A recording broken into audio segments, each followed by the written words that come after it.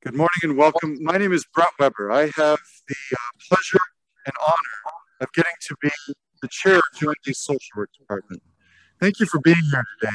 A storm like this would have shut down and paralyzed uh, many communities, but for us it was a relatively minor affair. In fact, when I went out to uh, shovel the walk this morning, I was, I was quite grateful. The wind had blown all of the snow into a single drift right on the property line between myself and my neighbor. I went out and cleared one drift and I got credit for clearing my walks and my neighbor's walks. It was a good morning. As you have already read in the program, possibly, the BSSW program, the Bachelor of Science of Social Work program, has a history dating back to 1905 when social work courses were first offered at the University of North Dakota. And the BSW degree was formally being offered in 1939 during the Great Depression. We were accredited by the Council on Social Work Education in 1974 when undergraduate accreditation first began and we have continued in high standing since. We added an online BSSW program in 2016. Congratulations to those of you who are involved in developing that. Let me also note that we are among the larger programs at the university. Indeed, we have the third largest graduate program. Keep that in mind, please. Yes. Um, and we have also been a national leader in distance education going back to the time of IVN, the Interactive Video Networking. And our faculty were all familiar with Zoom long before the pandemic. Additionally, let me note that we have one of the most collegial and highly functioning programs on campus. And we quietly and humbly go about our work with little fanfare or recognition. Folks, and, and those of us who are joining us online, um, I'm so pleased and proud to get to be the chair of this department. Thanks for your can-do attitude and your industrious spirit during both the pandemic and accreditation. Everyone's going through the pandemic. We're also going through accreditation. Uh, you've made an onerous job a pleasing and rewarding task. Thank you. So I guess I can wave to the camera. Is that how I say hello to the folks at home? Hello. Thank you. Um, the decision to hold this ceremony in a hybrid fashion both live and over Zoom, was a difficult one. If I knew two months ago what I know today, I possibly would have made a very different decision. Ironically, I'm glad that I didn't know then what I know now, because I'm glad that we're all here together. Thanks for making the time to be here. Let me take a moment to thank Brent, Brent, and Stephanie, and Sarah. Uh, Brent and Stephanie, there's a great deal of work and planning that goes into uh, these kinds of graduation ceremonies. And let me also welcome Sarah uh, uh, here for her first uh, graduation ceremony at UND in her new role. These ceremonies are important. They mark a key milepost in the long career trajectory of today's graduates. They offer an opportunity to recognize and celebrate their achievement for many, this might be your final graduation, though I hope you will consider our graduate our, our MSW program at UND. COVID has made life and the processes of teaching and learning extra challenging. This should not be glossed over. And at the same time, we should take a moment to recognize, honor, and to reflect upon the loss of over 2,000 fellow North Dakotans who have died from COVID, the 30,000 Canadians, the more than 800,000 in the US, and the more than 5.3 million people globally who have died, died from the disease in less than two years. Further, as social workers and the friends and family of social workers, we must recognize the disproportionate impact on oppressed and disadvantaged communities especially tribal and res- reservation communities who were proportionately the hardest hit by COVID of all populations in the United States. One of the things I've always enjoyed about these ceremonies was seeing the grandparents of the graduates. That has been less common during the pandemic. This is a little out of my wheelhouse, but I'm going to ask you to stand for a moment and join me. Would you please stand?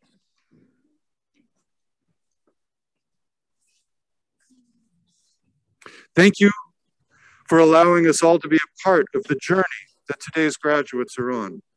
And I mean that as faculty, family, friends, and as colleagues of those who are celebrating this milestone in their lifelong quest for knowledge. May their work soften the blows of the coming waves of COVID, and may their practice, research, and contributions to policy help bring about an end to the devastating impacts of this disease. Amen. Thank you. Whew. Now, let us lay aside some of those, some of these less joyous thoughts and, and let us focus on why we're here today. I'm going to ask you to imagine the future of these graduates in terms of some sort of visible measurement. Maybe a cup of sugar, or at this time of year, perhaps we can think of different sizes of boxes of gifts. Now imagine how many times a day they will contribute, these individuals here before us, how many times a day they will contribute to the future happiness and well being of individuals, families, communities, and our larger society. In a single day, it's easy to imagine an impressive collection of these boxes of various sizes, each containing a variety of gifts. Now, multiply their compassion and love, the compassion and love that you know is in each of them, their love for one another, for you, for all people everywhere, and now imagine, now I'm starting to sound like John Lennon, imagine all of the social workers. It's not that hard to do. And imagine all of the number of boxes by the end of their work week. Now multiply those boxes, those boxes of gifts, by the number of social work graduates here celebrating today, and the number of years their professional practice and their personal care. And it's easy to quickly see a treasure of their work that will be larger even than all of the buildings on this beautiful campus. And that's part of what we're here to celebrate today. So thanks. Thanks for joining us today in our celebration. With that, let me introduce the, the department's program directors. Um, we have Professor uh, Isaac Kakari, our MSW program director. Um, uh, Professor Bruce Reeves, our field director uh, Professor uh, Stephanie Homestad, uh, our distance director, and uh, with that, Professor Barbara Kitko, our undergraduate director, and with that, I'll, I'll hand things off to Barbara.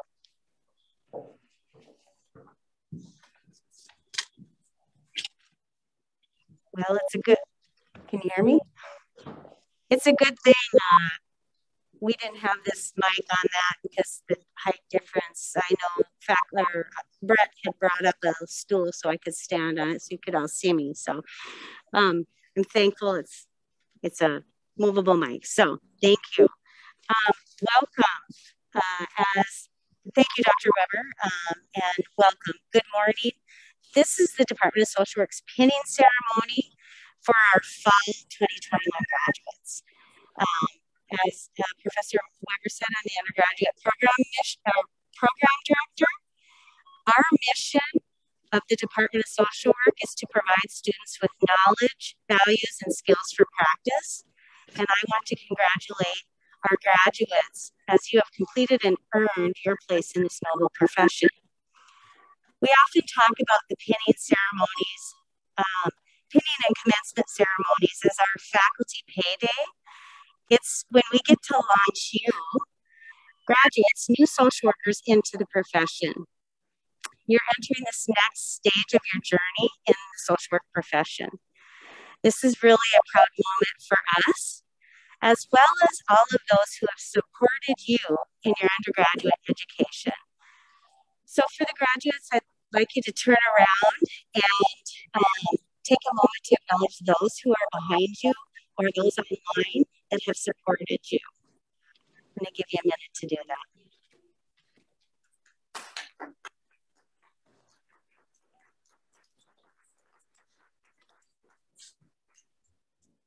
This is an exciting time in the social work profession as it is growing. Social workers are the largest mental health providers and not just clinicians across the country, across the nation, but also globally. Um, you're entering the profession at a difficult time, which presents its own unique set of challenges and opportunities. As you are fully aware, the social work profession calls all of us to roll with ambivalence. And you certainly have shown your ability to do this during these last two years.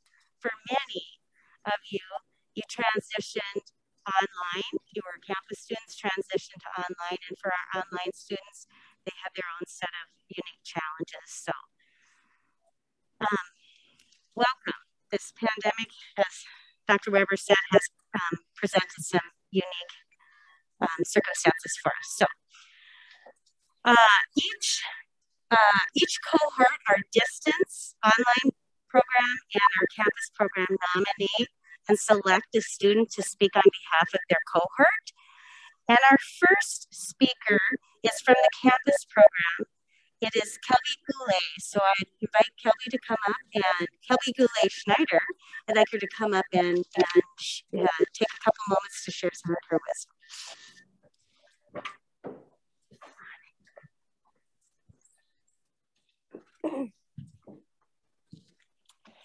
Okay, can you guys all hear me?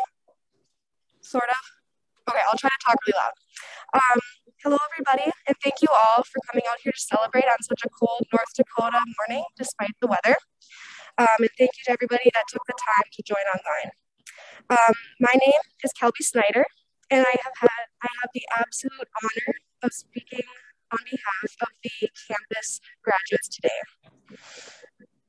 First, I want to take the time to recognize the social work department and the faculty for not only putting on this event for us today, but for all that you guys have done to, to teach us, to guide us, and to build us up these past few years. I want you all to know that your time and your energy has not been wasted, and your words of wisdom have not fallen on deaf ears. Your time has been poured out on each of the individuals here today and those joining online all of us who have dedicated our time, energy, and our lives to the pursuit of social work.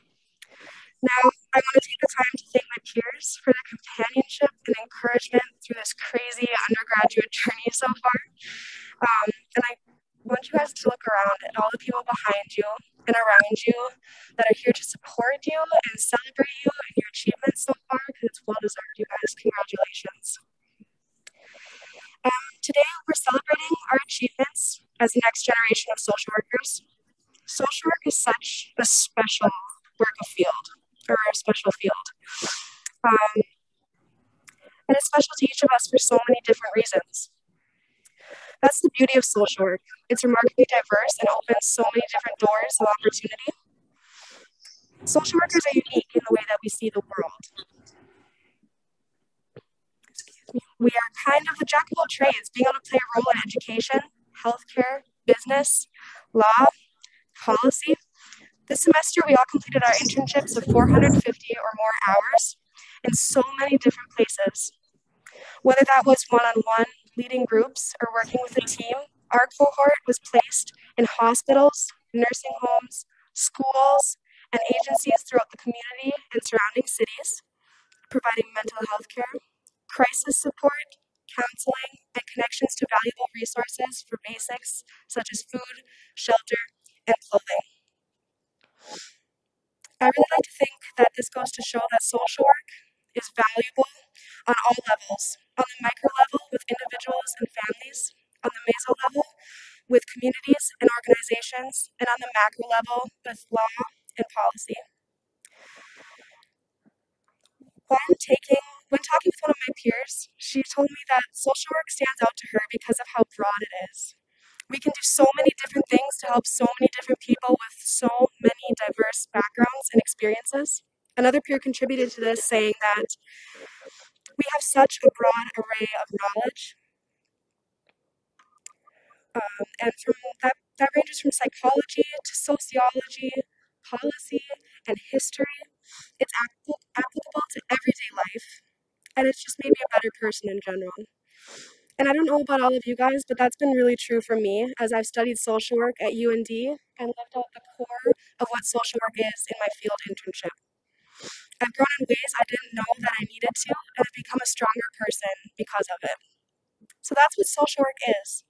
It's broad and it's narrow, and I really like to think that it's kind of precision guesswork, really. Um, it's it's promoting peace while fighting for justice, and it challenges you to be more than you ever thought you could be. Social work is also relevant. Like the rest of you and my peers, during my internship, I saw the need for service social justice, dignity and worth of a person, importance of human relationships, integrity, and competence. We all have reasons why social work is special to us. One of my colleagues shared that she chose social work because its philosophy follows looking at the whole person and their environment, not just the choices they may be making. Social work looks at the why. Another woman in my cohort shared that she chose social work because she loves that we utilize a strength based perspective. And she loves that we get to empower individuals. She says she loves the client social work relationship we get to build as well. And this is so true. Again and again, we have seen in our time at UND and time in our field that we are creatures of community and creatures of relationships. That's why it's so important to have social workers to help us build those communities and those relationships no matter where we are starting at or what we're starting with. One of my peers shared something with me that I absolutely loved. She shared that social work field provides the opportunity for mutual learning between the social worker and the client. And that mutual learning piece to me, I think, is so humbling and so important. The amount that I've learned from these amazing graduates here today is immeasurable and priceless. Listening to my colleagues talk about what they have learned hearing about their experiences and watching how they interact with people has taught me more than I can express. I've seen all of these individuals before me put in the work to learn about the pain, the hurt, and the crooked in the world, and then go beyond that to do something about it. I've seen this cohort gain an education from the professors at UND on how to reach people, build rapport, and then provide evidence based services. And from there, we've gone forward into field where we challenged where we were challenged to apply classroom material to real world situations with real people. And during that time, we had periodic pockets of time that we got to spend together back on campus on seminar, where we shared our extremely different stories, um, filled with both our trials and our victories with one another over breakfast and, com- and coffee, all in good company. And that is where I really think I saw what social work is at its finest. There I was in a room filled with strikingly different people with contrasting passions and unique skill sets. Some serving children, some teens, some adults, and some the elderly. Some serving the homeless, the mentally ill, the hopeless, the underserved, and the voiceless. We all had different visions, and yet when I looked around, we all were complementing and completing one another with the same goal.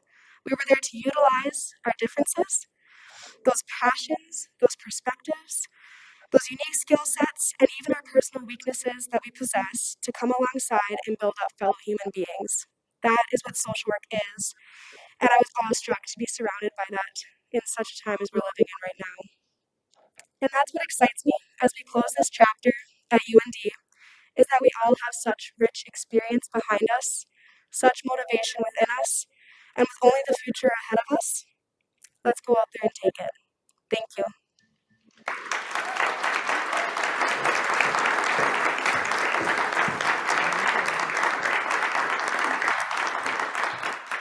Thank you, Kelby. All right, our next speaker it was chosen from the distance cohort, and she will be joining us online, Gabrielle Train Pines.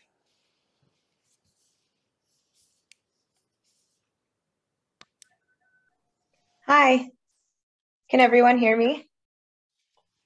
Okay. Um, so I apologize that I'm not able to be there in person, unfortunately, as oftentimes the weather just did not uh, cooperate today. But um, I'm happy that I'm able to still give this via Zoom.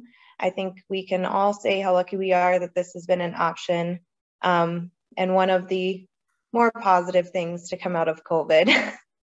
um, so yeah, hello everyone. Um, I wanted to congratulate congratulate everyone um, on their accomplishments today. My name is Gabrielle. Um, I'm a part of the online or distance program through UND.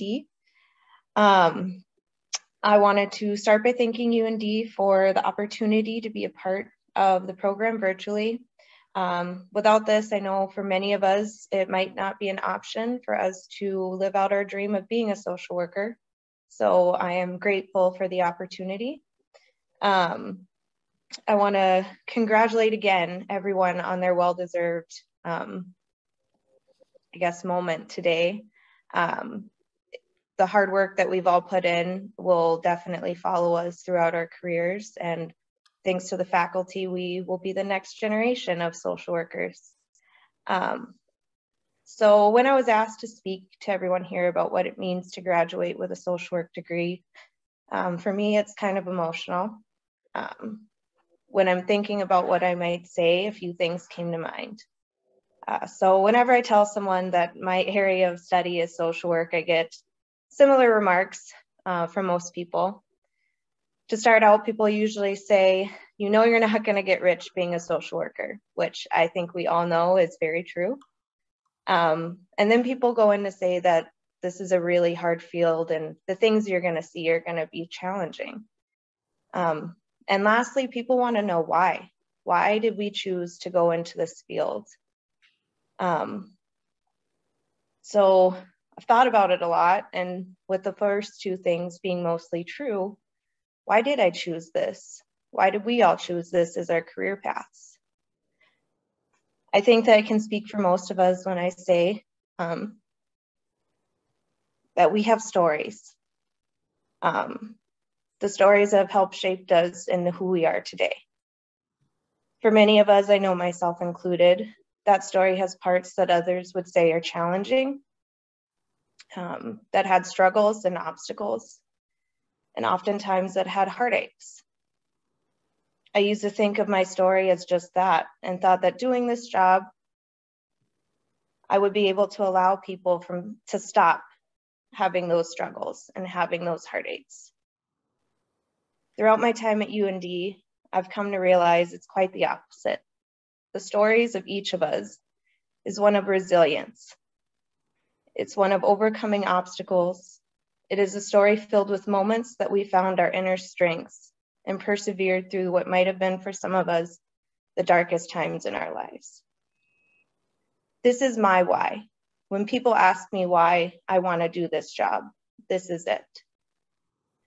When we leave here today and go to work in our chosen area of expertise, we won't stop families from experiencing heartaches and we won't stop clients from struggling with their inner demons. We won't stop children from experiencing neglect. Rather, we will support them. We will help lift them up and find their voices to be heard. We will help them realize that through all the challenges and all the obstacles they are facing, that they are strong enough to overcome them. We will be there to help others help themselves in their darkest times, to recognize their self worth, and to know that they concede with whatever their goals are in life. I encourage you as we leave here today to remember what your why is. Remember that it is about finding resilience and strength in people that we serve where others may not see any. It is about celebrating victories, no matter the size,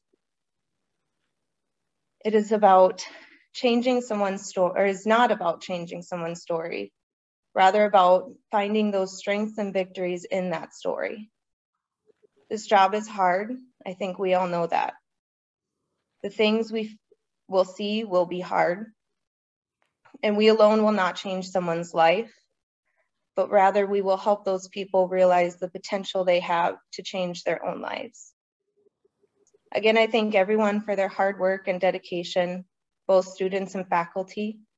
It takes a village and we would not be here without each other. As we leave and go to work, I wish you all the best and remember what your why is behind you choosing this program and let that follow you throughout your career. Thank you.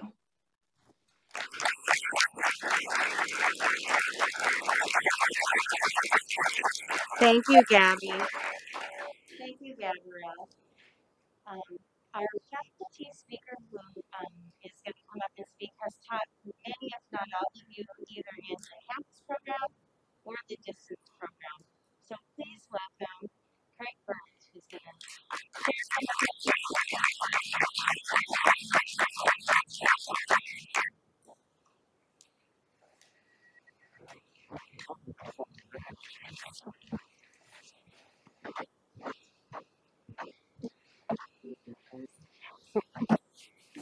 right, I'm gonna set up here and let's just take a couple minutes. Can everyone hear me okay? All right, let's just take a couple minutes. Appreciate those two fabulous speakers. Oh my God. Right, amazing. So, um, let's see. Good work. Um, gotta navigate this thing. Professor Kiko said I have exactly seven minutes and five seconds, so I don't run over. And as if you had me in class, you know I'm pontificating. Oh, I need mic for the Zoom session. Is that okay? All right. This doesn't count towards my time, does it? Okay.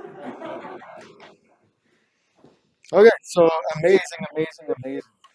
So I tend to pontificate if you've had me in class, so let's get right to it. Um, but before we get into it and start burning some lean tissue, um, I want to congratulate each of you and you um, for arriving at this pivotal moment in your social work journey. You've all worked hard to get here. Um, you've learned a lot about yourselves and about your world. Perhaps you've questioned some of your fundamental beliefs and expanded your worldview. I just want to tell you it was an honor and a privilege to be able to accompany so many of you um, on this part of your journey. So, the National Association of Social Workers, um, our professional uh, organization, recently announced the theme of their Social Work Month 2022, which is at the time is right for social work. So, you might be thinking, well, isn't the time always right for social work? Hasn't it always been right for social work? And that's true. But why now? Why is now a particularly important time for social work and to be a social worker? So here's a short list of some things as we come to the end of 2021 that you'll be facing as you head out into the into the wild. So we started the year with an attempted coup. We're entering the third year of a global pandemic. After 20 years, we were defeated by the Taliban in Afghanistan, which has particular meaning for me. Um, in 2004, I was in Kandahar while we counted the votes in the stadium, the same stadium where the Taliban uh, state had public executions. And in 2005, my team and I were in Kabul for the inauguration of uh, Karzai as the first president. So there's worsening conflicts around the world that have continued to exacerbate uh, forcible displacement, where at least 182.4 million people are forcibly displaced, with 43%, 42%, or 35 million of those are children under the age of 18. We see human beings around the world flee violence, natural disaster, and oppression, seeking refuge in the U.S., only to continue being turned away throughout 2021. The record numbers of overdoses and suicides increasing year after year. In echoes of the Cold War, there's growing nuclear proliferation, unprecedented defense budget in the U.S. Uh, approaching $1 trillion, and rising tensions with China and Russia. Supply chains continue to be strained by multiple stressors, resulting in global shortages of goods and rising inflation. Islands and low-lying nations continue to be threatened by rising seas, king tides, and increasingly powerful typhoons and hurricanes. Unprecedented changes in climate conditions have wreaked havoc on global governments, the environment, and economies. So, and these are just the things I thought of in the shower this morning. So, you may be wondering if you've had me in class, Or you may be wondering why, so with all this, why is now the time to be a social worker? It's overwhelming? Yes. What can I do? I'm just one person. Yes. However, as we've heard, we work together. You might be thinking, is this Professor B doing one of his, I remember this one time, man. Right? Uh, but we are facing unprecedented times. We have seemingly unending challenges, one after another after another, and there doesn't seem to be much respite for any of us. We're exhausted. You're exhausted. Most of us are just tired. And so you're taking all of this on in this time. The future's uncertain, and many of the challenges seem insurmountable. However, social workers, you, me, all of us, we're uniquely trained and prepared to face these challenges on a daily basis. We work alongside our clients, individuals, families, communities, and we guide them in helping them to develop their strengths and the capacity to overcome what seem to be insurmountable obstacles to them. If we can do it for one, if we work together, we can do it for all.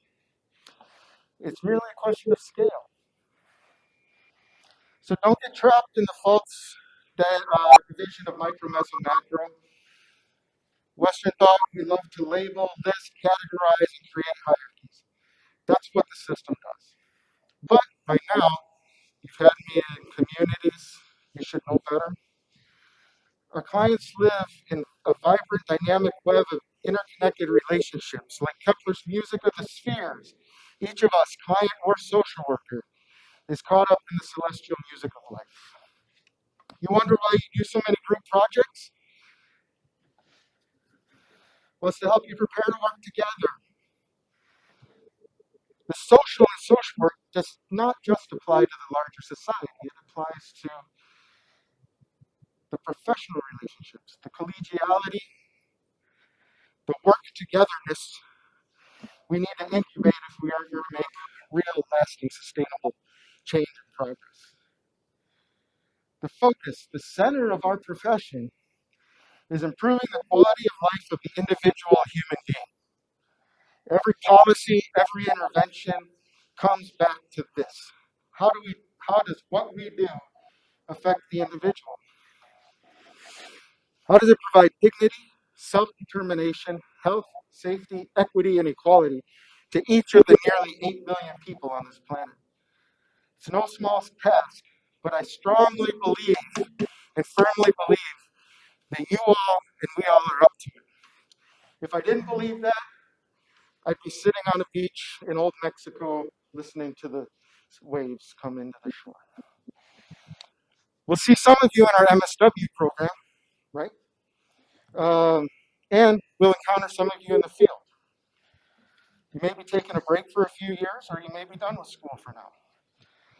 But listen well, you're not done learning. You have chosen a profession as alive and dynamic as the people with whom we work. You must always be curious. You must always be learning. You must always, always, always be increasing your knowledge of the human condition of the world, of the people in it, and the ways in which we are born, live, love, and die. It's all under your purview. It's all our responsibility. We can't do it alone, but we sure can do it together. This part of your journey may be concluding, so celebrate your accomplishments. Take some time, but not too much time. Take some deep breaths, rediscover your energy, drive, and passion, and get ready. Grab your gear, the tools you've honed in your courses, and get ready for the next leg of your journey. I cannot promise it will be easy. In fact, it's going to be really, really hard. But if we travel together, it will be rewarding and it'll be fun along the way. We know what we need to do, we know how to do it. It's far past the time to move from knowing to doing. And I'll leave you with a quote from Martin Luther King Jr. The time is always right to do what is right. Thank you.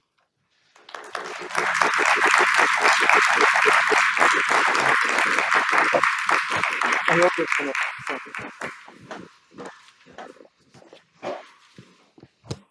Did you make the time limit? Oh, okay. Thank you, Craig.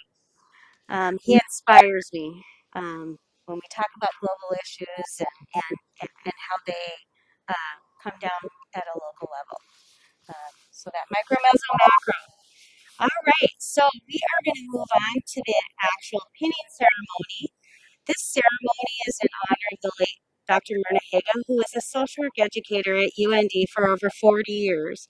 Myrna was dedicated to all of our students, but particularly our bachelor's level students. Um, this is an informal ceremony, so when your graduate um, comes is called up, you can absolutely come up, take pictures. We can pause. Um, we we invite you to do that. So. Um, what what will happen is uh, each graduate will be announced. Their research topic and their field the place their field placement where they did their internship and their student and their advisor's name.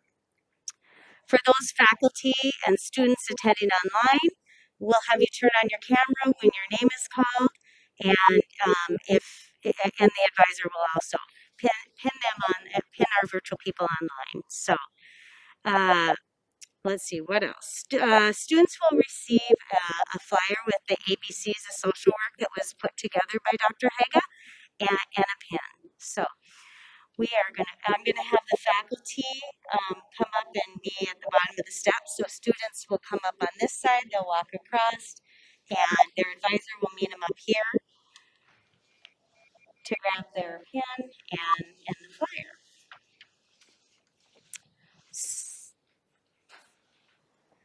All right. Our first student is Skylar Berdahl. She was at St. Michael's Catholic Church. Her research topic was benefits of service an- animals, and Angie Muse is her advisor.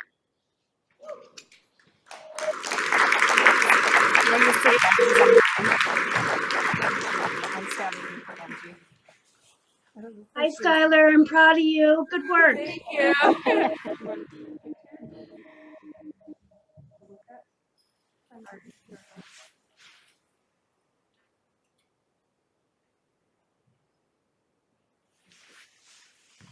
Our next student is Jill Dornbach. She was at Turtle Mountain Tribal Child Welfare and Family Services. Her research topic was Tribal Child Welfare and Family Services sources of, for funding, and Stephanie Homestead was her advisor.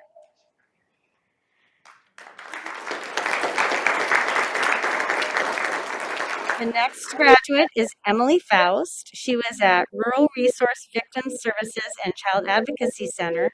Her research topic was forensic interviewing, and Kelly Gast is her advisor. Congrats, Emily. Way to go, Emily. Briar Hagen is our next graduate. She was at Centennial Area Learning Center. Her research topic was comprehensive sex education versus abstinence only educational outcomes.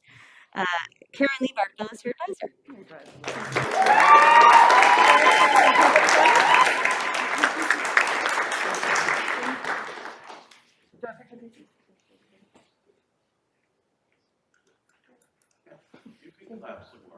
All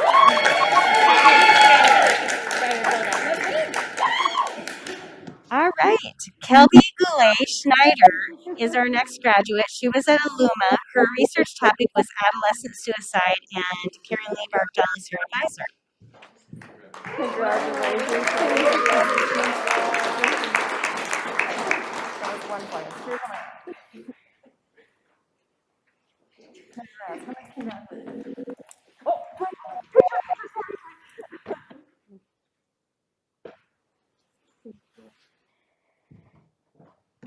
Andrea Hansen is our next graduate. And she was at Community Options. Her seminar research topic was long term impact of ACEs on mental health, and Kelly Gast is her advisor. Congratulations. All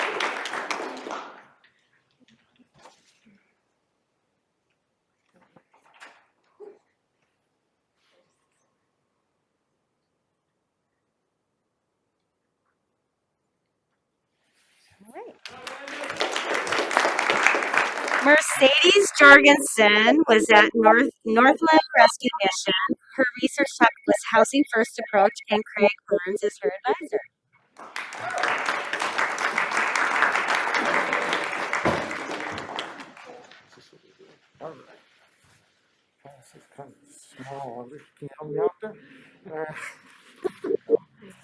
Congratulations.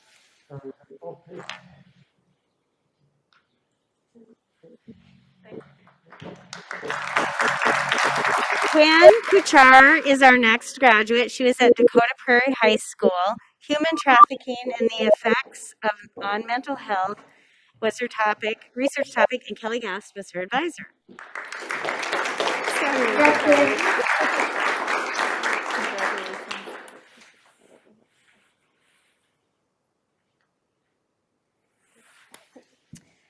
Rain Masca is the next graduate. She was at Aluma. Her research topic was suicide and, and patient rights, ethical legal responsibilities to clients, and Karen Lee Barkdahl was her advisor.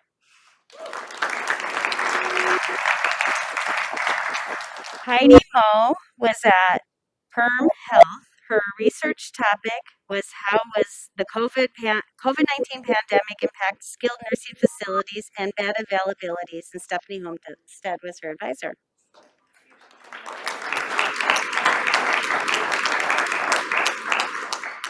Our next graduate is Taylor O'Hare. She was at CVIC. Her research topic was family violence, and I was her advisor.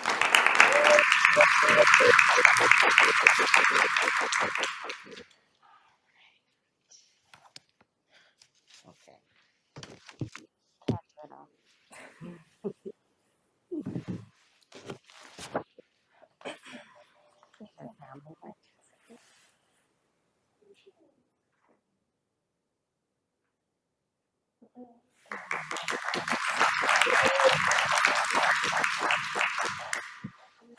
Right, our next graduate is Gretchen Osweiler. She was at Salvation Army. The benefits of equine assisted therapy was her topic, and I am her advisor.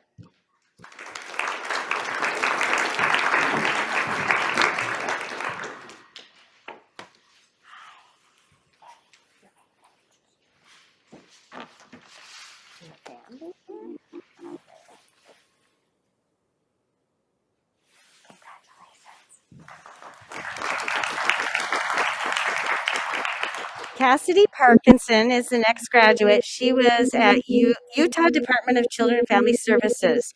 Her research topic was policy revisions, revising policies to fit with the times. Craig Burns was her advisor.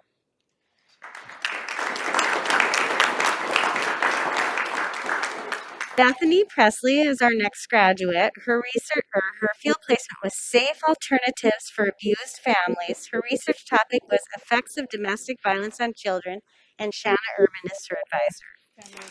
Hey, congratulations, Bethany.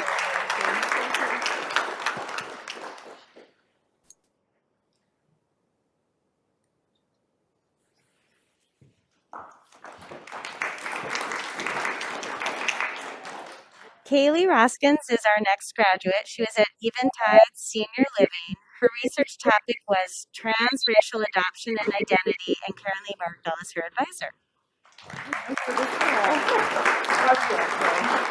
So let's do this.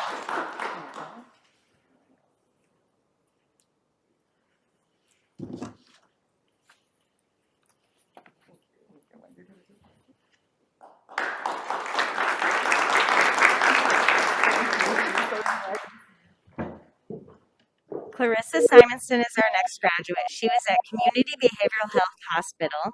Her research topic was impact of mental illness stigma, and Shanna Urban is her advisor.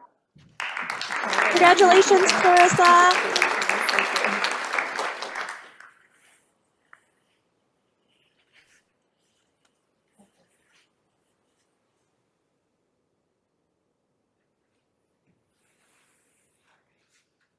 All right. Callie Smith is our next graduate. She was at Spectra Health. Her research topic was harm reduction strategies and outcomes, and Karen Lee Barkdahl is her advisor. I'm getting a focus on.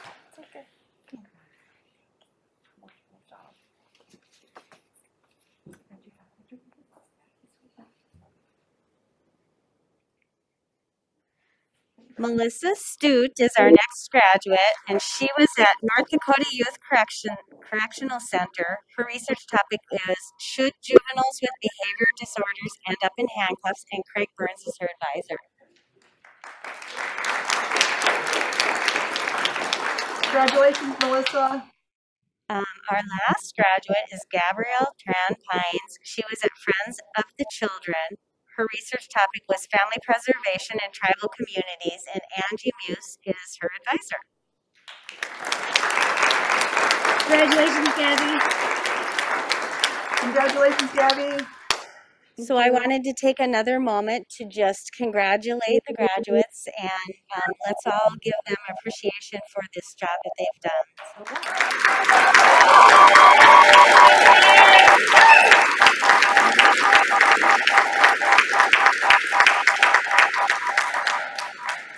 Okay, so I'm going to have the faculty sit down for a minute and I just have a couple closing comments and not very many really, I, I promise. Um, you are leaving UND with a toolbox. You've earned it. It's called an education. It's your time now to go out and be change agents. In this profession, we serve clients often in their darkest moments. Keep in mind what an honor and a privilege it is to walk with the people that we serve, whether it be micro, macro, or meso level. Um, students who I've taught, and many of you I have, uh, know how much I love quotes. And you all know how much I love Dr. Brene Brown, who is a social science researcher with a PhD in social work. She um, states this is one of her quotes integrity is choosing courage over comfort, choosing what is right over what is fun, fast, and easy and choosing to practice our values rather than simply professing them. What a tall order we have been tasked with. However, I know that you are all up for the opportunity to go out and live with integrity, as our code of ethics calls us to do. Welcome to the profession, colleagues. Congratulations on this wonderful accomplishment.